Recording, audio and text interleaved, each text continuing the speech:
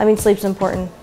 Kids, especially, who are not getting the right amount of sleep, have behavioral issues, learning issues. I mean, we know that. So the fact that people are starting to focus on it is great. As a lactation consultant, I've learned a lot just coming to Dr. Evans about the importance of treating these things early in these children because it can lead to sleep apnea and other speech issues. So if we kind of had, if we get babies taken care of earlier on, then they have a much better success rate later. Dr. Evans always sits down and explains everything, which is really nice. And she doesn't just treat, she explains and treats, which is something I value as a healthcare professional. What sets her apart from a typical orthodontist is that she has studied this and she knows a lot about the benefit of expanding the palate early on in children to benefit them later on with sleep apnea, TMJ issues, things like that.